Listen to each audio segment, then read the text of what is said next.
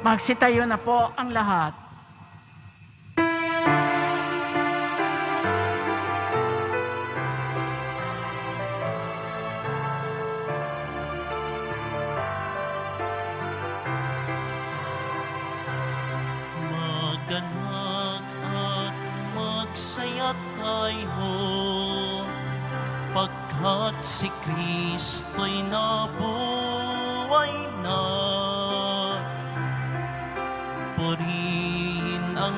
Sa dakilang araw na ito Ating isigaw,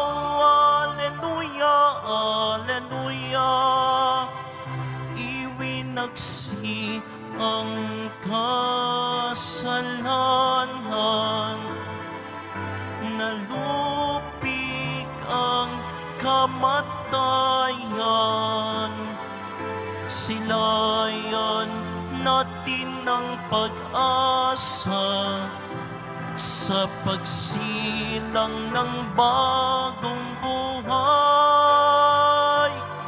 magalak at magsaya tayo pagkat si Kristo'y nabuhay na.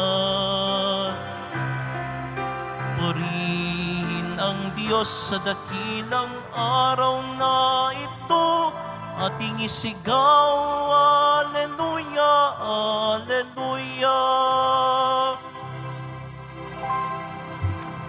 Simulan natin ang ating pagdiriwang sa ngalan ng Ama at ng Anak at ng Espiritu Santo Amen. ang pagpapala ng ating Panginoong Heso Kristo, ang pag-ibig ng Diyos Ama at ang pakikipagkaisa ng Espiritu Santo naway sumainyong lahat. At sumayo rin. Mga kapatid, tinipon tayo bilang kaanib ng angka ng Diyos.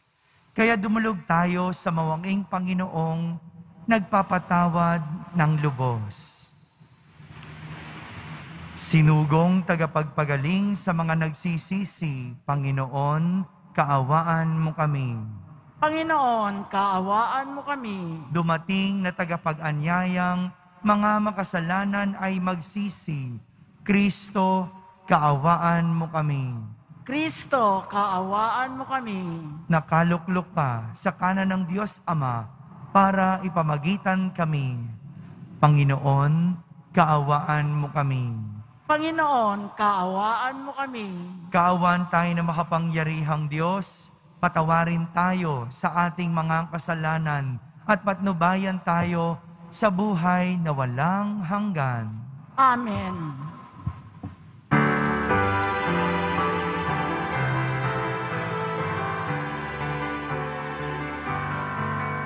Papuri sa Diyos, papuri sa Diyos, papuri sa Diyos sa kaitaasan,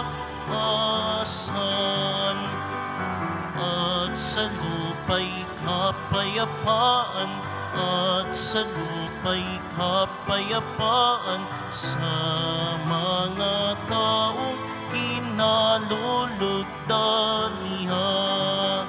Pinupuri ka namin, dinarangal ka namin, sinasamba ka namin, ipinagbabanyi ka namin, pinasasalamatan ka namin.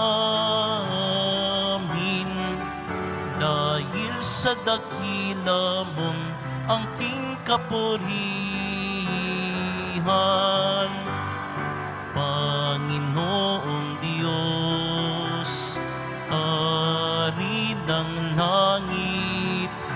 Diyos amang makapangyarihan sa lahat. Panginoong Heso Kristo, bugtong na anak, Panginoong Diyos, Kordero ng Diyos, anak ng Ama. Ikaw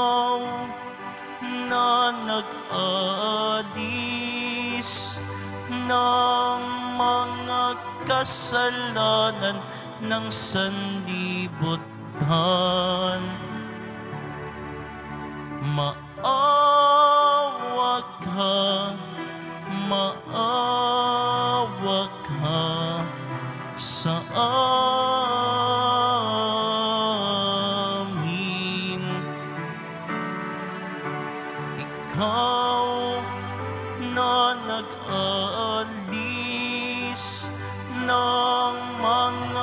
Kasalanan ng sandibutan.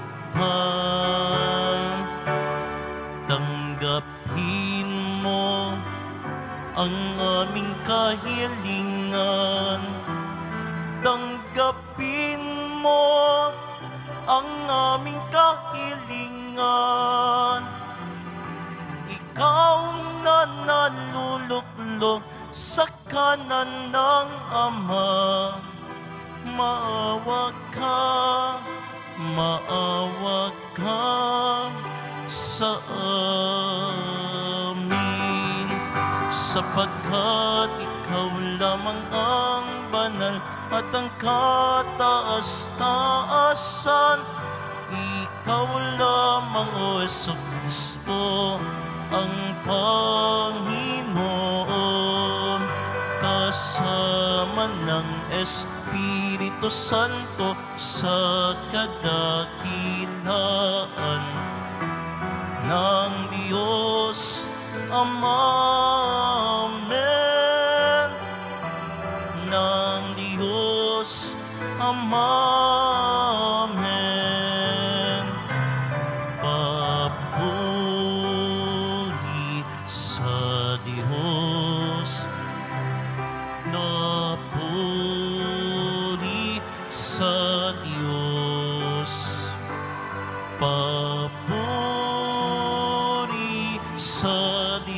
Sa kaitaasan.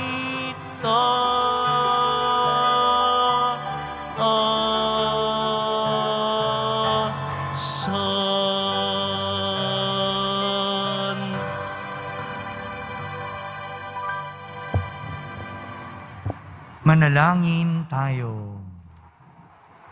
Ama naming makapangyarihan, sa kagalingang dulot ng pagkabuhay ng anak mo sa amin, kami ay iyong patuloy na paunlarin upang sa kinamtan naming paglayang walang maliw. Kami magkaroon sa kalangitan ng kaligayahan na ngayon pa man sa lupa ay siyang sanhi ng aming pagdiriwang. Sa pamamagitan ni Yeso Kristo, kasama ng Espiritu Santo, magpa sa walang hanggan. Amen. Magsiupo muna po ang lahat. Pagbasa mula sa mga gawa ng mga apostol. Noong araw ng Pentecostes, sinabi ni Pedro sa mga Hudyo, Dapat malaman ng buong Israel na itong si Jesus na ipinako ninyo sa krus, siya ang ginawa ng Diyos na Panginoon at Kristo. Nabagabag ang kanilang kalooban nang marinig ito. At tinanong nila si Pedro at ang mga apostol, Mga kapatid, ano ang gagawin namin? Sumagot si Pedro, Pagsisiyahan ninyo at talikdan ang inyong mga kasalanan at magpabinyag kayo sa pangalan ni Heso Kristo upang kayo'y patawarin at ipagkakaloob sa inyo ang Espiritu Santo. Sapagkat ang pangako'y para sa inyo at sa inyong mga anak at sa lahat ng nasa malayo, sa bawat tatawagin ng Panginoong Diyos. Marami pa siyang inilihad upang patunayan ang kanyang sinabi. At nanawagan siya sa kanila, Lumayo kayo sa masamang lahing ito upang kayo'y maligtas. Kaya't ang mga naniwala sa kanyang sinabi ay nagpabinyag. At nadagdag sa kanila ang may tatlong libong tao ng araw na iyon. Ang salita ng Diyos. Salamat sa Diyos. Awat pag-ibig ng Diyos sa sangkalupa ay lubos. Awat pag-ibig ng Diyos sa sangkalupaay lubos. Panginooy tapat sa kanyang salita at maaasahan ang kanyang ginawa. Minamahal niya ang gawang matapat at ang pag-ibig niya sa mundo'y laganap. Awat pag-ibig ng Diyos sa sangkalupaay lubos. Ang may takot sa Diyos at nagtitiwala sa kanyang pag-ibig ay kinakalinga. Hindi babayaang sila'y mamatay. Kahit magtagutom, sila'y binubuhay. Awat pag-ibig ng Diyos sa sangkalupaay lubos. Ang ating pag-asay nasa Panginoon. Siya ang sanggalang natin at katulong. Ipagkaloob mo na aming makamit o poon ang iyong wagas na pag-ibig. Yamang ang pag-asay sa iyo nasasalig. Awat pag-ibig ng Diyos sa sangkalupaay lubos. Magsitayo po ang lahat.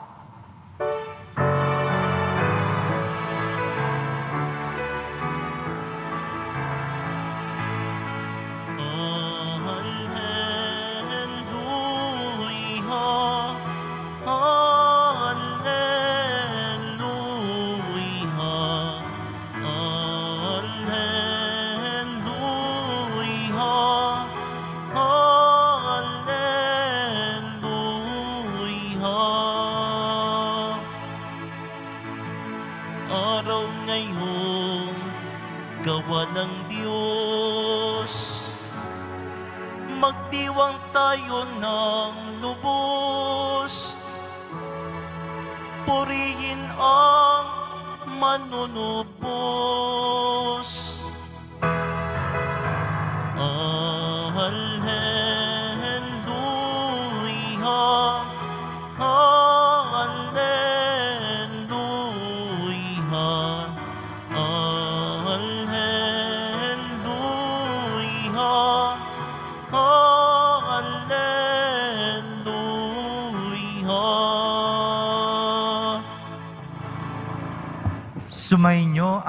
Panginoon. At sumayo rin. Ang mabuting balita ng Panginoon ayon kay San Juan. Papuri sa iyo, Panginoon.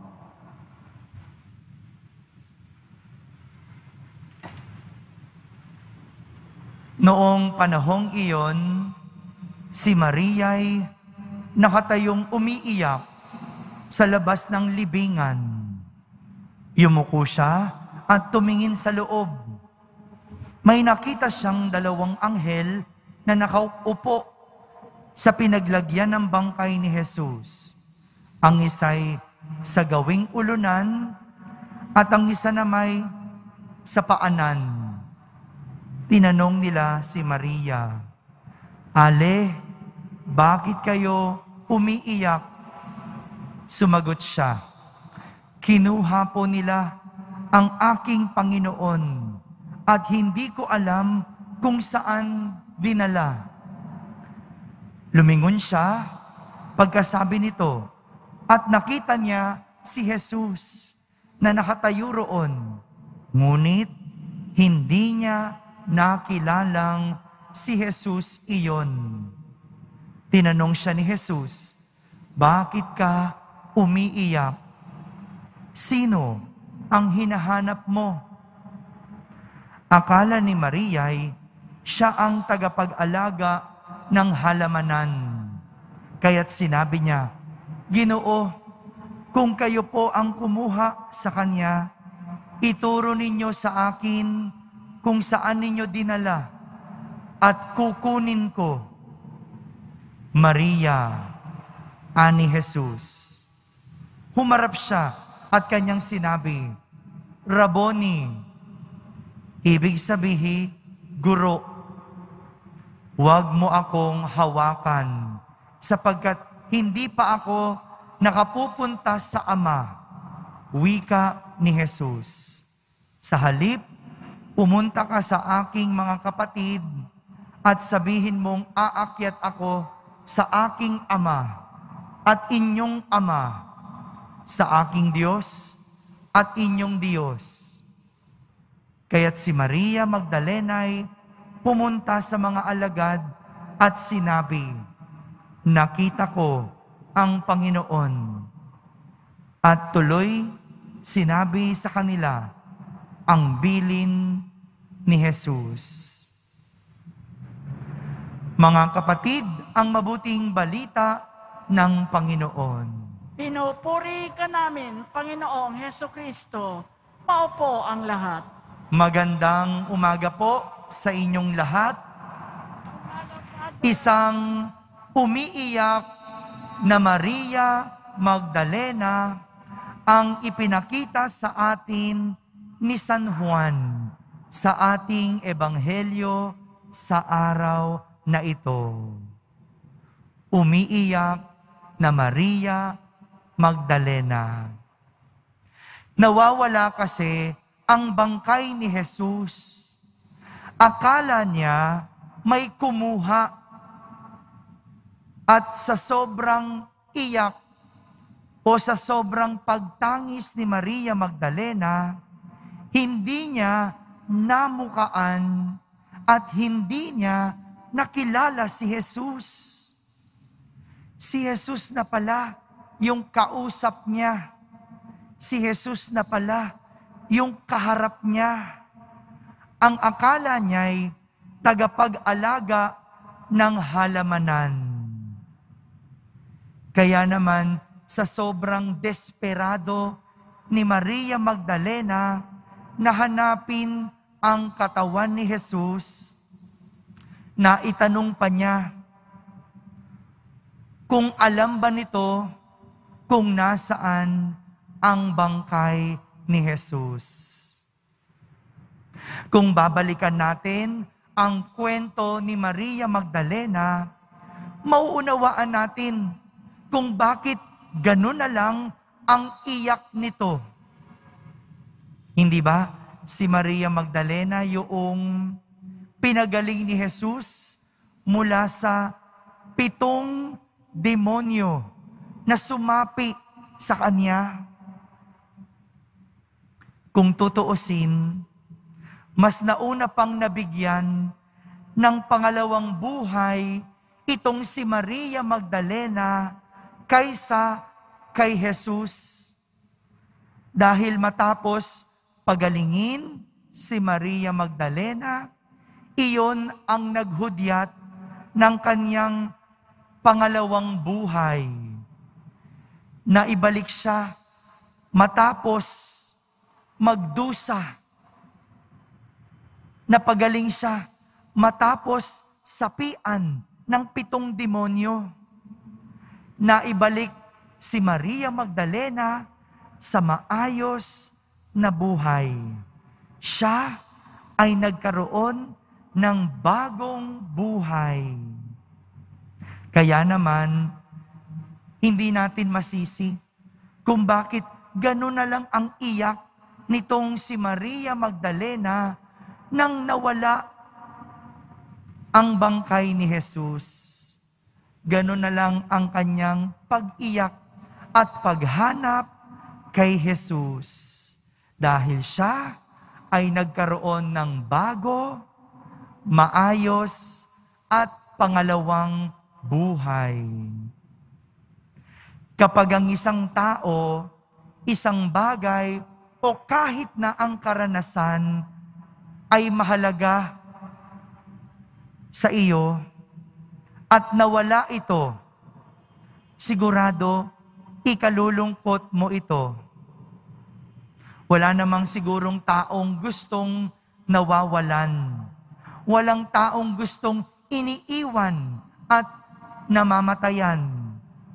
Kaya nga, hanggat maaari, ayaw natin itong pakawalan. Ayaw nating bitawan ang mga mahalaga sa atin. Wala naman pong masama doon.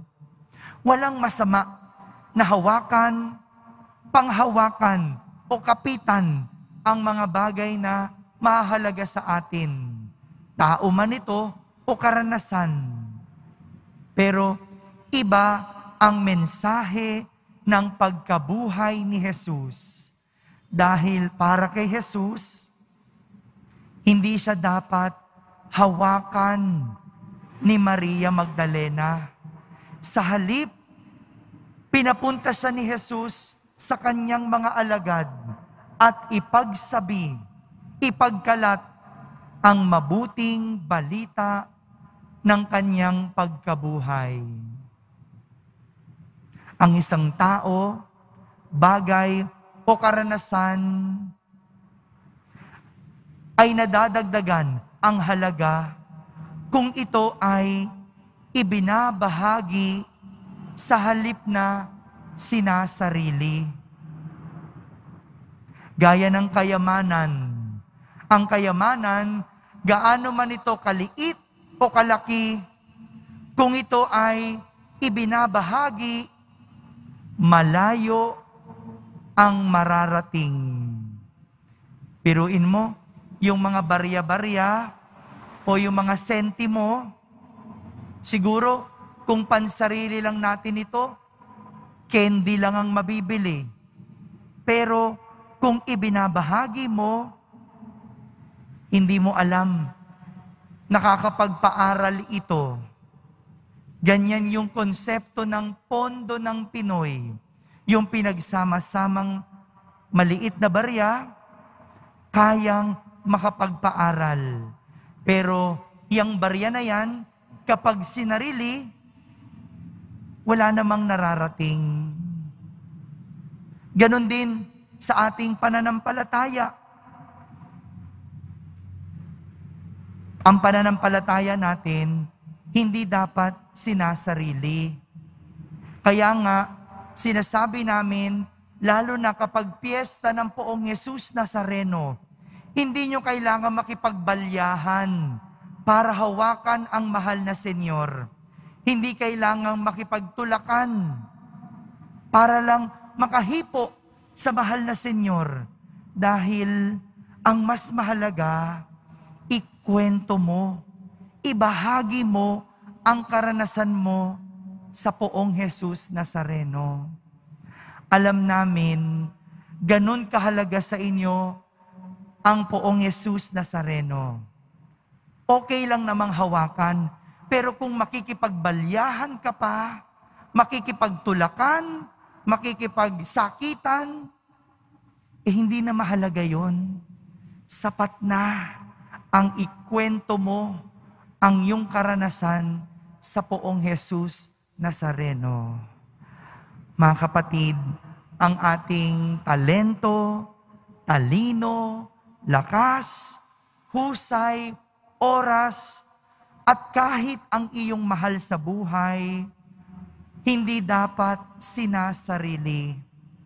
Dahil kapag ito ay ibinabahagi, mas nagkakaroon ito ng malalim na kahulugan. Gaya ni Jesus, hindi siya para sarilinin. Hindi siya para hawakan ni Maria Magdalena. Dahil si Jesus at ang karanasan natin kay Jesus ay dapat ibinabahagi, hindi sinasarili. Para mas madami ang mananampalataya at mas marami ang makikinabang. Amen. Magsitayo na po ang lahat. Minamahal kong mga kapatid, sa pamamagitan ng Ebanghelyo, nagpapahayag sa atin si Kristo sa kanyang mga kapangyarihang salita na walang hanggan at mga gawang makapagpapagaling. Sa pamamagitan niya, buong pagtitiwala tayong manalangin sa Ama at ating sambitin. Ama ng Panginoong muling nabuhay, iwaksi mo ang aming mga takot Ama ng Panginoong muling nabuhay, iwaksi mo ang aming mga takot. Ang simbahan. Naway patuloy na magturo ng katotohanan si Kristo at labanan ang mga kasamaan ng ating panahon. Manalangin tayo. Ama ng Panginoong muling nabuhay, iwaksi mo ang aming mga takot. Ang mga namumuno sa mundo, naway magtaguyod ng pagiging matuwid sa kanilang mga pamahalaan at maging masigasig sa pagsugpo ng kasamaan sa mga pamayanang pinangakuan nilang paglingkuran. Manalangin tayo. Ama ng Panginoong muling nabuhay, iwaksi mo ang aming mga takot. Tayong lahat na natitipon dito, naway manatiling tapat sa ating mga pangako sa binyag. Manalangin tayo. Ama ng Panginoong muling nabuhay, iwaksi mo ang aming mga takot. Ang mga may sakit, naway magkaroon ng kagalingan sa pangihina ng kanilang katawan at kaluluwa. Manalangin tayo. Ama ng Panginoong muling nabuhay, iwaksi mo ang aming mga takot. ang mga yumao, naway makabahagi sa maluwalhating muling pagkabuhay ni Kristo.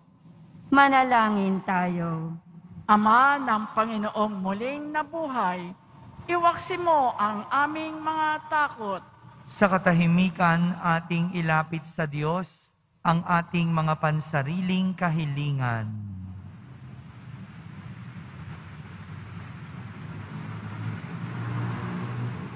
Manalangin tayo. Ama ng Panginoong muling nabuhay, iwaksi mo ang aming mga takot. O Diyos, sa pamamagitan ng kamatayan ng iyong anak, ibinigay mo sa amin ang pag-asa sa buhay na walang hanggan. Lobin mo na sa pamamagitan ng kanyang muling pagkabuhay, ay mata mo namin ang buhay na aming inaasam. Hinihiling namin ito sa pamamagitan ni Kristo na aming Panginoon. Amen. Magsiupo ang lahat.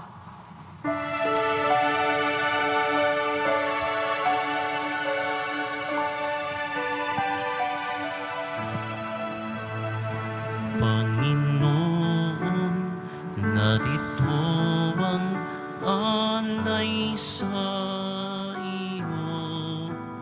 Nagmula sa iyong bayan, masayang nagsalo. Aming sanang mga alay, gawin mong totoo. Itong alat at tinapay gawing dugot katawan mo. Panginoon, Panginoon, alay sa iyo ng iyong bayang nagpupurit, nagkakaisa sa iyo. Magsitayo po ang lahat. Manalangin kayo mga kapatid upang ang paghahain natin ay kalugdan ng Diyos amang makapangyarihan. Tanggapin nawa ng Panginoon itong paghahain sa iyong mga kamay sa kapurihan niya at karangalan sa ating kapakinabangan at sa buong sambay na niyang banal. Ama naming lumikha, tanggapin mo at kalugdan ang mga alay ng iyong angkan upang sa tulong ng iyong paglingap at pagsubaybay, ang bigay mo sa aming puhunan ay hindi masayang, kundi tumubo pa ng mga kaloob mong walang katapusan sa pamamagitan ni Yeso Kristo, kasama ng Espiritu Santo, magpa sa walang hanggan. Amen. Sumainyo ang Panginoon. At sumayo rin, Itaas sa Diyos ang inyong puso at diwa. itinaas na namin sa Panginoon. Pasalamatan natin ang Panginoong ating Diyos. Marapat na siya ay pasalamatan. Ama naming makapangyarihan, tunay ngang marapat na ikaw ay aming pasalamatan. Lalo ngayong ipinagdiriwang ang paghahain ng Mesiyas, ang maamong tupa na tumubos sa aming lahat. Ang iyong anak na minamahal ay naghain ng sarili niyang buhay. Siya ang tupang maamong umako sa kaparusahan upang mapatawad ang kasalanan ng sanlibutan. Sa pagkamatay niya sa banal na krus, ang kamatayan namin ay kanyang nilupig. Sa pagkabuhay niya bilang manunubos, pag-asa at pagkabuhay ay aming nakamit. Kaya kaysa ng mga anghel na nagsisiawit ng papuri sa iyo nang walang humpay sa kalangitan, kami nagbubunyi sa iyong kadakilaan.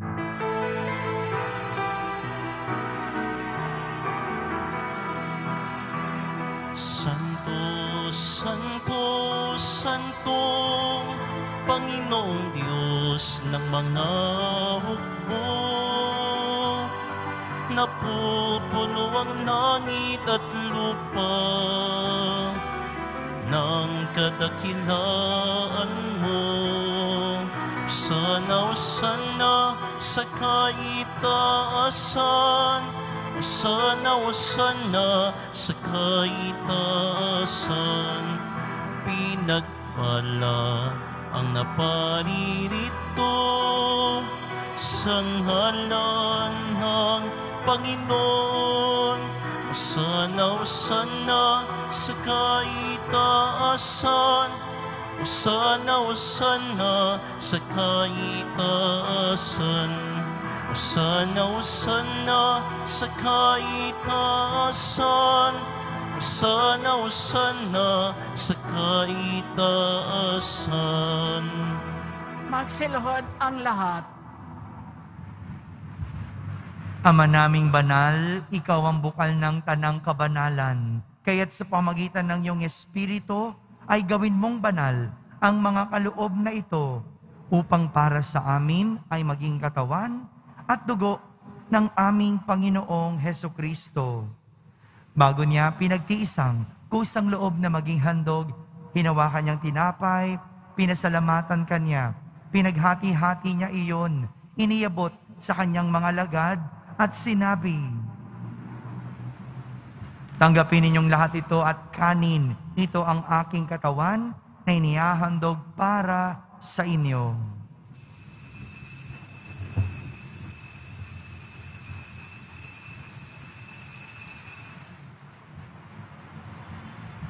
Gayon din naman, nung matapos ang hapunan, hinawakan niyang kalis, muli kanyang pinasalamatan. Iniabot niya ang kalis sa kanyang mga lagad at sinabi, Tanggapin ninyong lahat ito at inumin.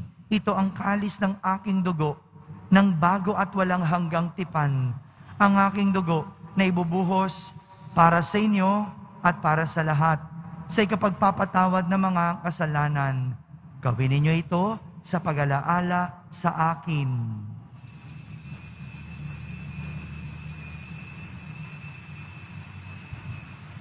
Magsitayo po ang lahat.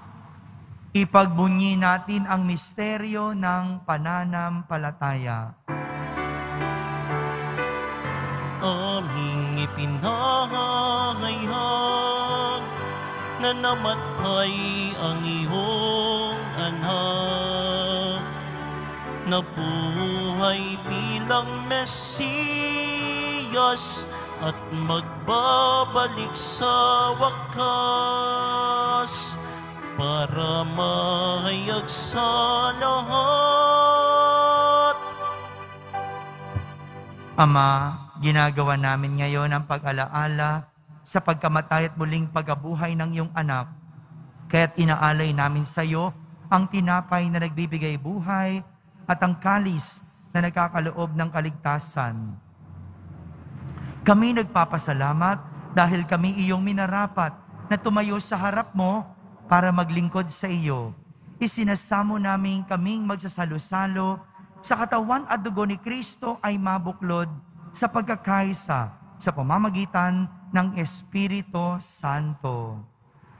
Ama, lingapin mo ang iyong simbahang laganap sa buong daigdig. Puspusin mo kami sa pag-ibig kaisa ni Francisco na aming Papa, ni Jose na aming Obispo at ng Tanang Kaparian. Alalahanin mo rin ang mga kapatid naming nahimlay na may pag-asang sila'y muling mabubuhay. Kayon din ang lahat na mga pumanaw. Kaawan mo sila at patuloyin sa iyong kaliwanagan. Kaawan mo at pagindapating kaming lahat na makasalo sa iyong buhay na walang wakas.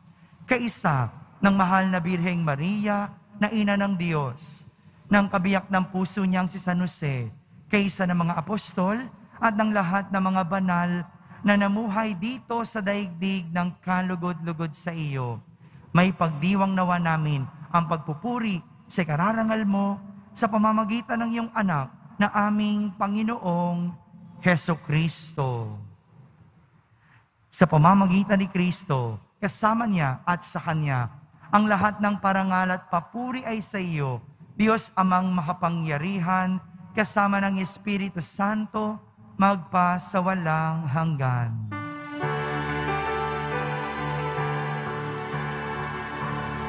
Amen, Amen, Amen. Amen, Alleluia.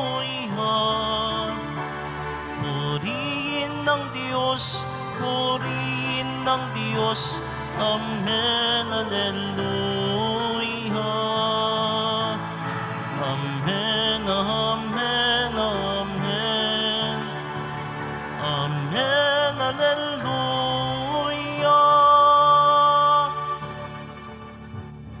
Sa tagubilin ng mga nakahagaling na utos at turo ni Jesus na Panginoon natin at Diyos, ipahayag natin ng lakas loob.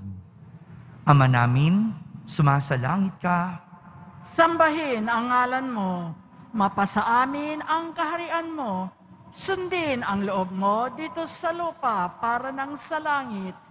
Bigyan mo kami ngayon ng aming kakanin sa araw-araw at patawarin mo kami sa aming mga sala para ng pagpapatawad namin sa nagkakasala sa amin at huwag mo kaming ipahintulot sa tukso at iadya mo kami sa lahat ng masama. Hinihiling namin kami iadya sa lahat ng masama, pagkaloban ng kapayapaan araw-araw, iligtas sa kasalanan at ilayo sa lahat ng kapahamakan. Samantalang aming pinananabikan ang dakilang araw ng pagpapahayag ng tagapagligtas naming si Heso Kristo. sapagkat iyo ang kaharian at ang kapangyarihan at ang kapurihan magpakailanman. Amen. Panginoong Heso Kristo, sinabi mo sa iyong mga apostol, kapayapaan ang iniiwan ko sa inyo. Ang aking kapayapaan ang ibinibigay ko sa inyo.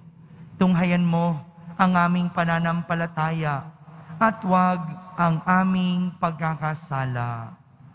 Pagkaloban mo kami ng kapayapaan at pagkakaisa ayon sa iyong kalooban, kasama ng Espiritu Santo, magpa sa walang hanggan. Amen. Ang kapayapaan ng Panginoon ay laging sumainyo. At sumayo rin. Magbigayin kayo ng kapayapaan sa isa't isa. Kapayapaan po para sa lahat.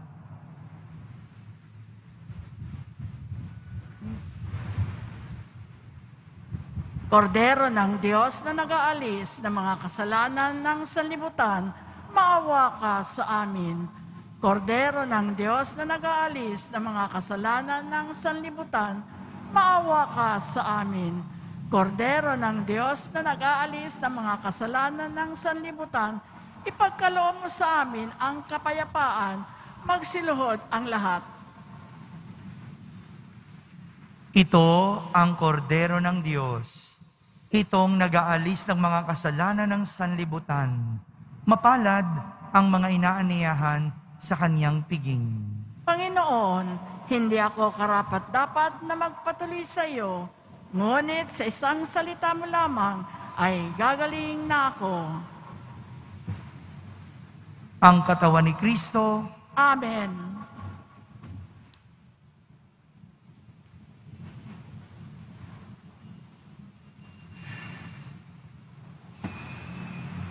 Para sa lahat ng tatanggap ng banal na komunyon, manatili lamang po kayo sa inyong mga pwesto o kinauupuan.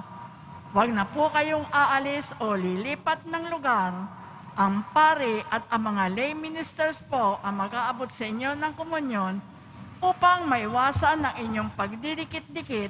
Sumunod po tayo. Maraming salamat po. Si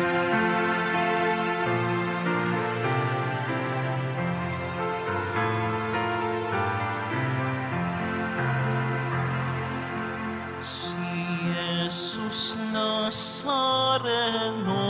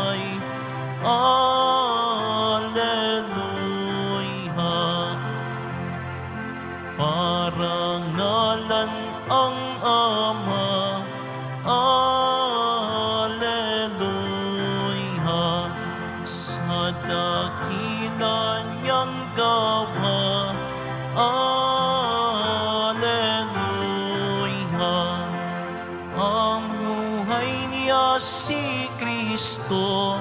Alleluia,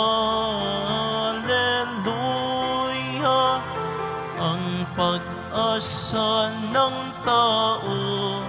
Alleluia.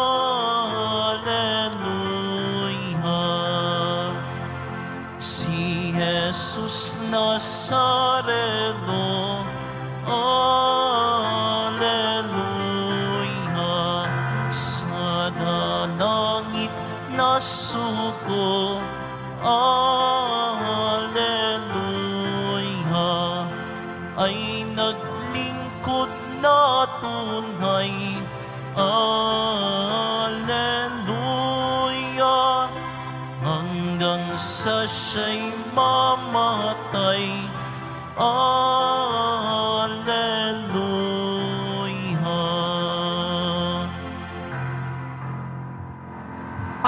Pagkatapos ng misa, wiwisikan po ang lahat ng banal na tubig. Pinakikiusapan ang lahat na manatili lamang muna sa inyong mga lugar o kinauupuan. Pagkatapos ng pagwiwisik, mangyari lamang na maupo muna ang lahat ng nasa loob ng simbahan at hintayin banggitin ang grupo ng kulay ng inyong inuupan bago po kayo lumabas ng simbahan. Tanging sa Quezon Boulevard lamang ang labasan ng lahat. Panatilihin natin ang physical distancing sa bawat isa. Sumunod po tayo. Maraming salamat po sa inyong pagdalaw at pagsisimba sa Basilica Minor ng Itim na Nazareno. Magsitayo na po ang lahat. Manalangin tayo.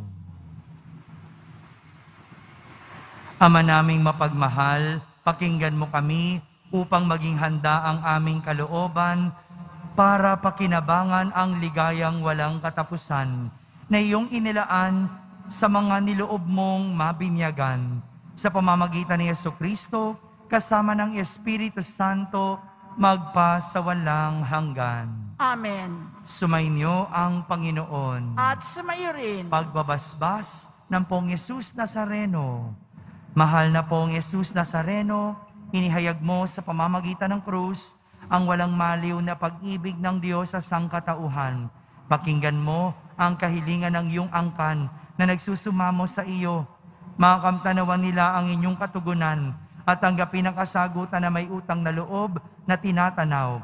Basbasan din po ninyo ang lahat na may karamdaman at nahihirapan Sa pamamagitan ng bendisyon na ito, naway maalala nila ang mga pangako nila noon sa binyag, na ikaw ang kanilang iibigin at paglilingkuran bilang Panginoon, magpa sa walang hanggan. Amen. At pagpalain kayo ng makapangyarihang Diyos, Ama, Anak, at Espiritu Santo, Amen. tapos na po ang ating pagdiriwang, humayging taglay ang pag-ibig at kapayapaan ng poong Yesus Nazareno.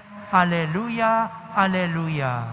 Salamat sa Diyos. Aleluya, aleluya.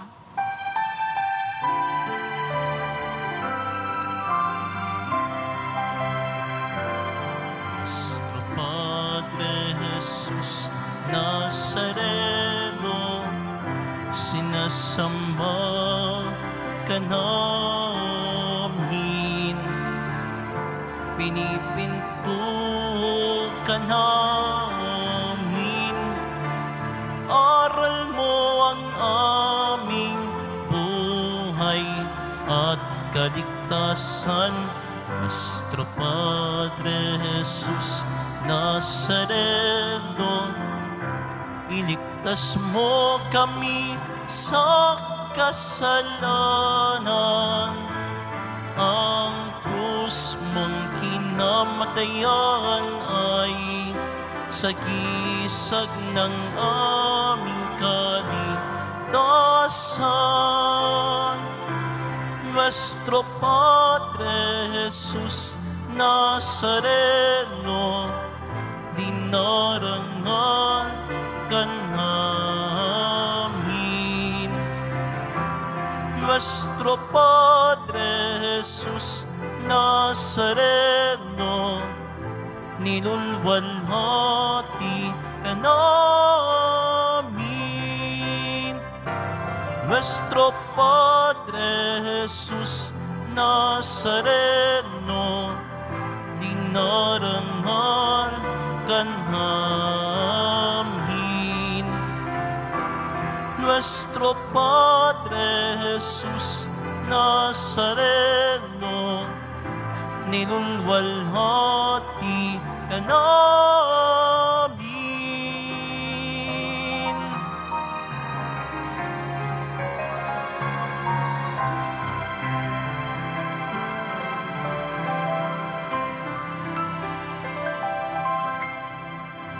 Magsiupo muna po ang lahat.